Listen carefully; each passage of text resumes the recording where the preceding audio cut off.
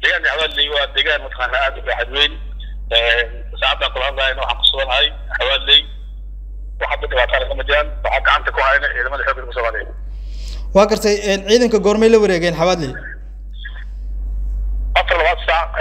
qorsho socday iyo howlgallo ka wadnay tuulooyinka ku ku xawaaley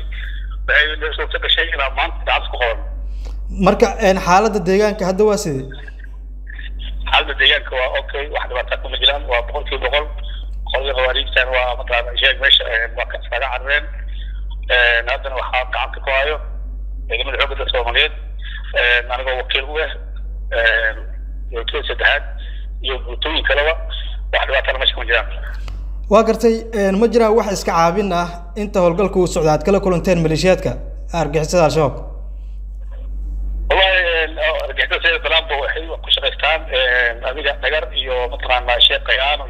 markaana tuganiyo iyo markaa maanisku hore maad waxay ku keeni karaan male. Ehm, Miilooyin iyo waxyaabahaasay dadka markaa masaakiinta markaana kulaayaan marka waxaas xubinta soomaaliyeed maanta waxaan aaminsanahay inay hor istaagi karin marka cararaya waa gartay deegaankan xabaadley in muddo ay argixisada xukumayeen. Marka in gacantii dowladda uu soo galo ehm, maxay ka dhigan tahay? Walla deegaanka xabaadley waa deegaanka keliya. Ehm, meesha boondada xabaadley isku xirta gobollada dhexe shabeellaha hoose shabeellaha dhexe. Waa xundhur ciidamada xoogga dalka soomaaliyeed maanta gacanta ku dhigeen. Anigoo fuliyeyno amaamiirta taliyaasha naga shaqeeyo ayaan si awooda ku soo galnay. Waa gartay. Marka hadda waddada xiriirisa jowhar iyo balcad dhibaatooyinka inta badan waxay kaga imaan jireen dhanka iyo xabaadley marka hadda waa sidee socodka gaadiidka ee waddadaas wadnaa. Hadda hawshaan bedela operationkii waana kalin ku guuleysano mataqaanaa sheeg meelka tuulo kasta tagno waxyaabaha ugu dambeeya iyadoo mataqaana waxaa arki doontiin iyadoo iyadoo muuqaala haddana hawshaan ku jirnaa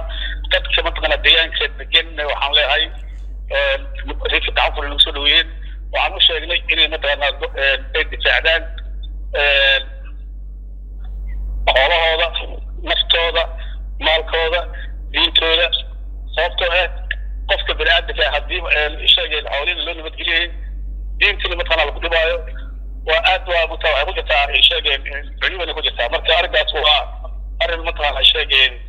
si fiican isku afgaranay dadka deegaanka si fiican noola shaqeeya ayagana marka inay tuliyi mataqaana sheeg difaacdaan ciidanka gacan fure lagu soo dhaweeyey waa aad umaadiyey